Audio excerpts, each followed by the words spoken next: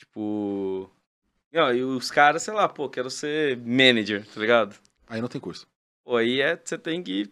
Mano, aí você tem que ser um cara desenrolado, essa, essa é a real, velho. Pra ser manager É. tem que ser desenrolado. É meio. É difícil, né, velho? Não, você pode ter uma experiência no mercado tradicional, alguma coisa e tal, sabe? É, pode ser Mas- gerente, é. Bastante é. gerente, sim. Mas assim, é difícil, né, velho? Dou curso de manager, Nicolau, falando aí. Eu dou curso de manager. Eu já fui manager, eu poderia dar curso de manager também, velho. Aí, vamos fazer esse curso aí, Nicolau. Você, o. Kaique, pega mais um manager. Pega o. Ericão ou o Vicenzo, tá o ligado? Ericão, o Vicenzo, pô, já era, é isso aí. A gente bota aí, ó, Curso de manager, como ser babá de pro player. curso de manager. O que, você tem que ensinar no curso de manager? É que tem várias, várias formas de ser manager, né? Mas você pode ser uma babá. Você pode ensinar o cara a fritar um ovo. Cara, tem uma história agora, acabei de lembrar, nada a ver com o que a gente tá falando, mas enfim. O robô, quando ele ta- jogava na NTZ Red, robô, você desminta se for mentira, mas eu tenho certeza que é verdade, porque eu não acho que mentiram sobre isso.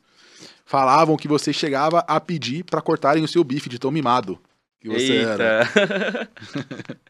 Os caras chegam. Ô, chegou novinho lá, né? Robô, pô, tinha 16, 17 anos, mano. Caramba. E o robozinho pediu. Eu, eu fiquei impressionado que me contaram, porque, porque ele pedia pra cortar o bife dele.